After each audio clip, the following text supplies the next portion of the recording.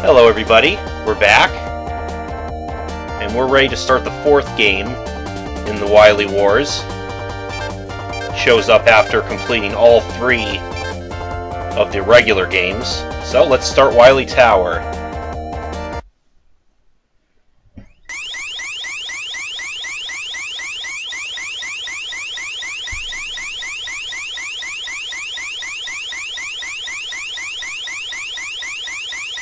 You know, come to think of it, I think this game was made around the same time as the Ruby Spears animated series, so these taunts seem like they come right out of that.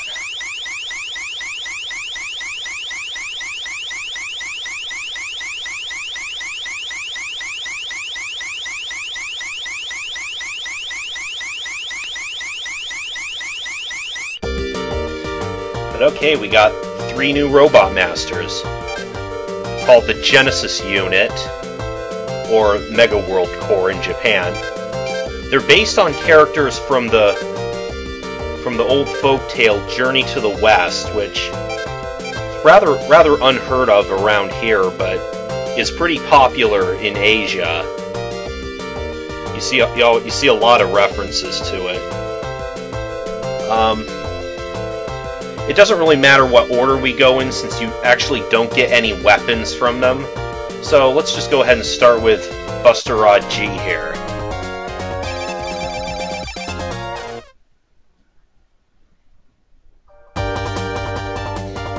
Now this is nice. You get to equip... You get to select any weapon from Mega Man 1 through 3, up to 8 of them. Let's go ahead and see what we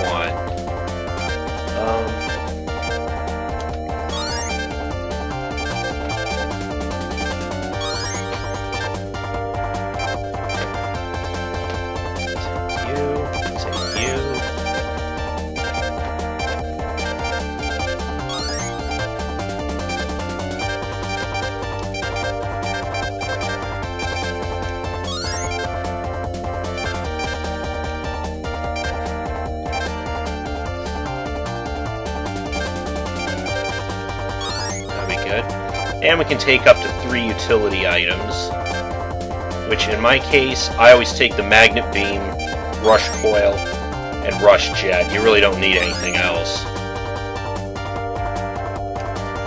Okay, so now we can actually get started with the level.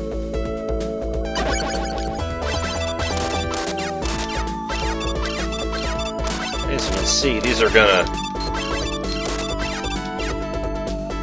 sort of a uh, sort of a final exam game you can think of it because it's going to have elements from all all three games.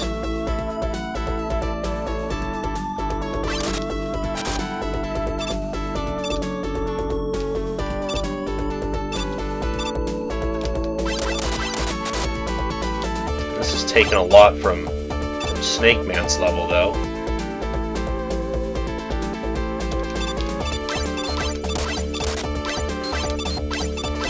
probably worth pointing out that uh, Buster Rod G is based on the character Sun Wukong, the Monkey King from Journey to the West. He's also known as Son Goku, which, you probably guessed by the name, was the basis for for the very well-known Dragon Ball character.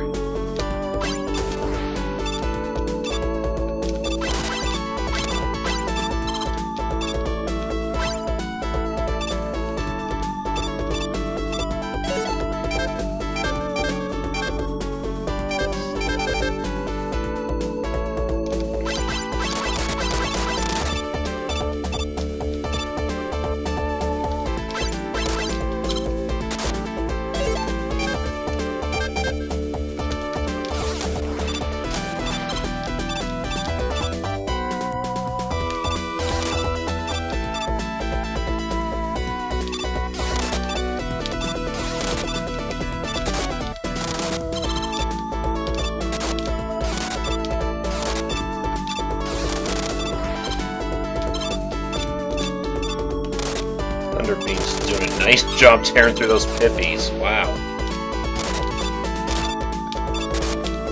The rabbits, not so much.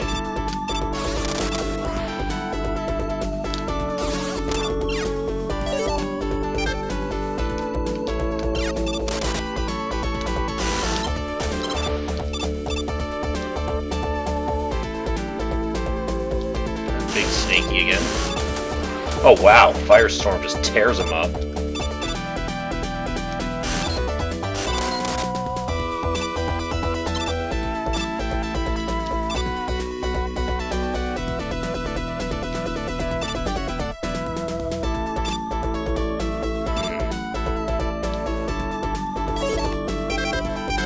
Let's see if we want go for that.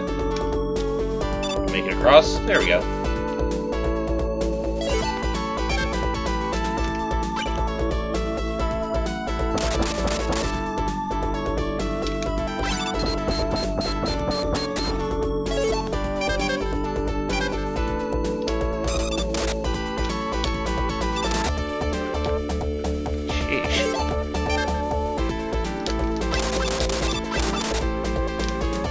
Lot of punishment but I wanted that E-Tank.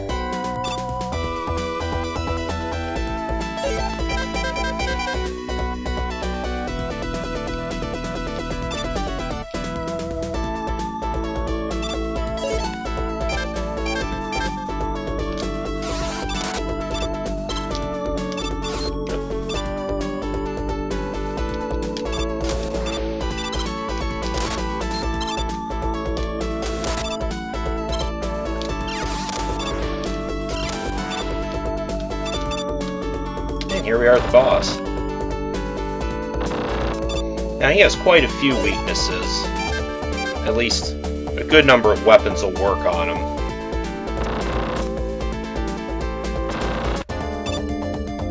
I really like this boss music, by the way.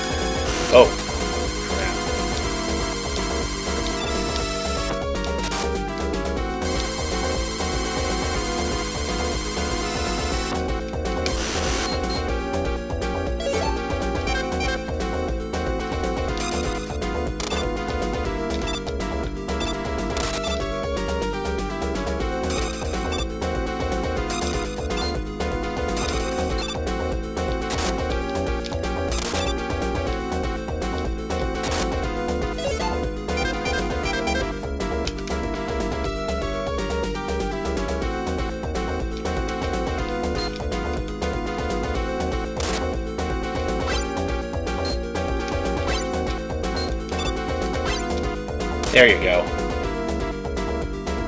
Oh, and then he runs away like a little wimp.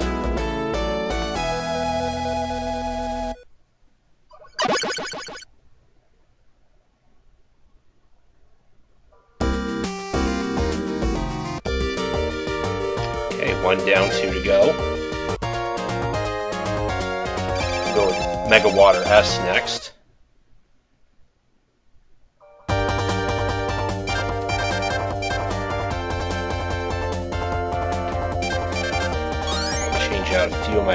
Here.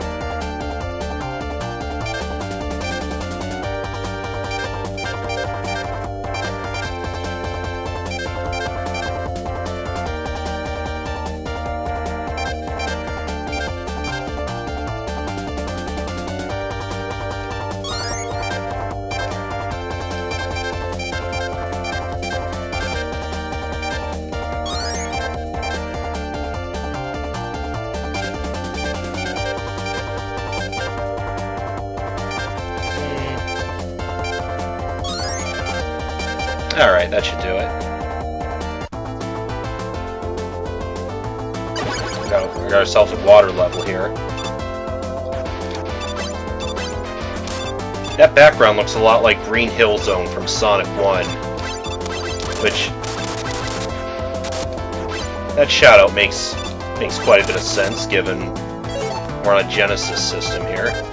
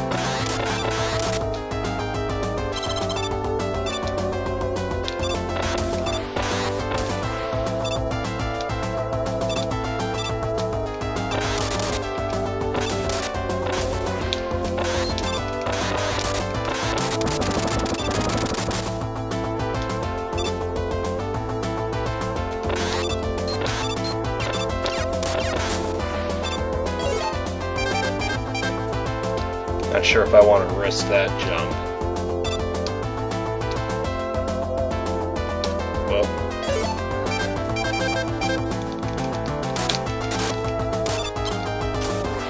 I won't question how Firestorm works underwater. I'll take it.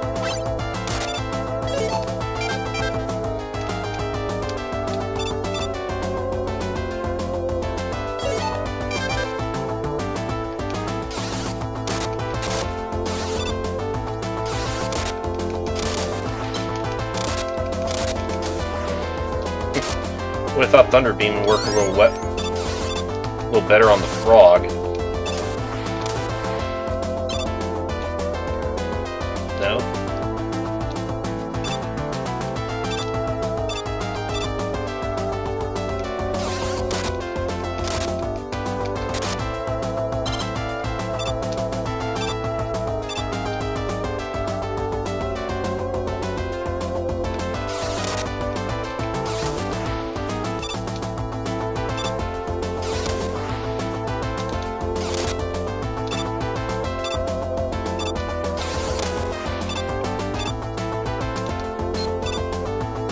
Big fish is back.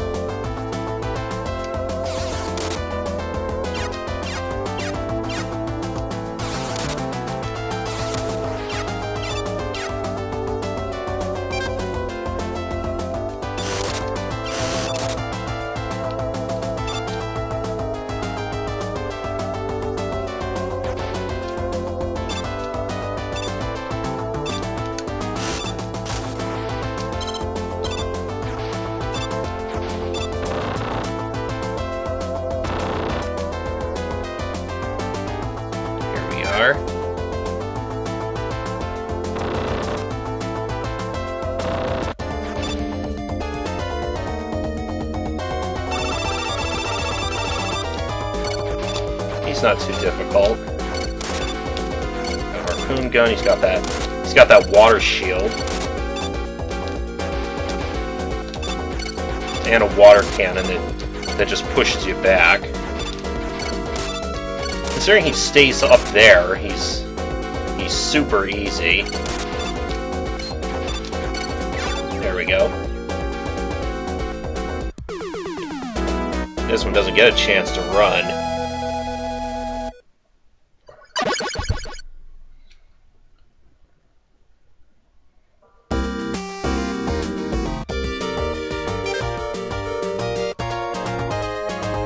His Hyper Storm H. Boy, he's big.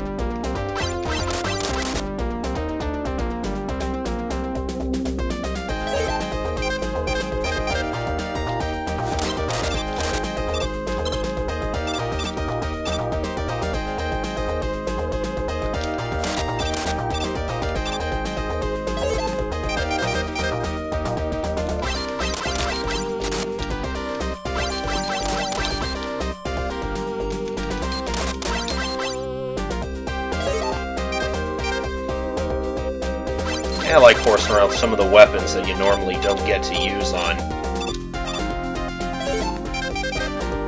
on certain enemies, like using using Mega Man 1 enemies on Mega Man 3, or Mega Man 1 weapons on Mega Man 3 enemies, and so on.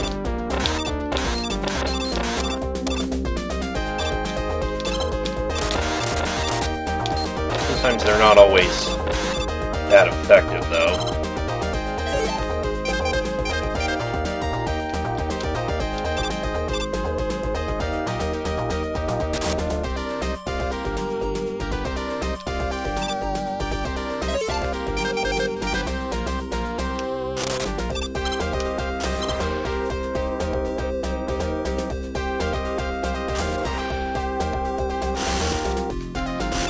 Usually a handful of weapons I, I like to bring in all the stages, Firestorm being one of them.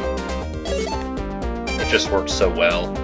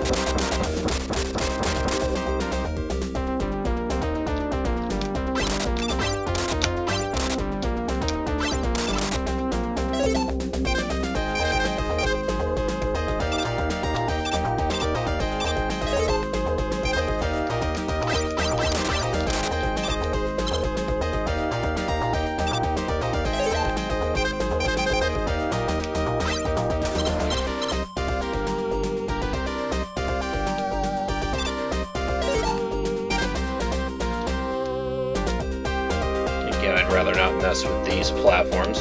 Why are you going that way, Rush?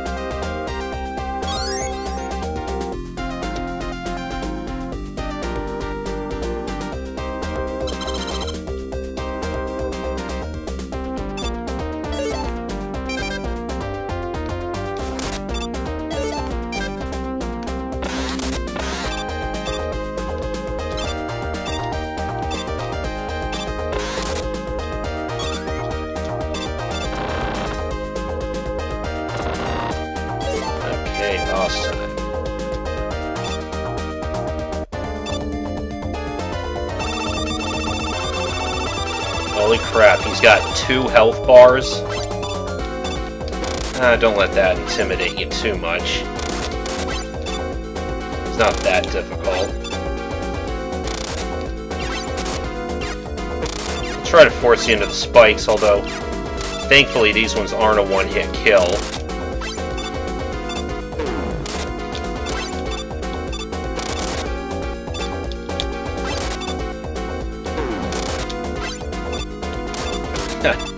yeah, he still goes down easy. Another one of the few instances the Hyper Bomb comes in handy.